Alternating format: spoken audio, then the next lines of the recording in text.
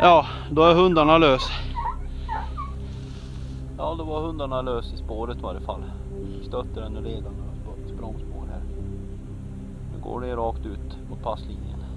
Om inte det redan har passerat. Står ju här vid... Vi hör ju ändå inte om det spåret.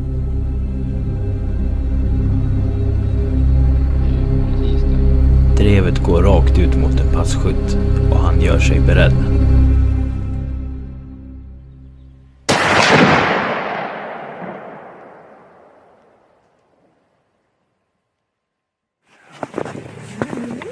Det var väl spännande det här? Ja, det var kul.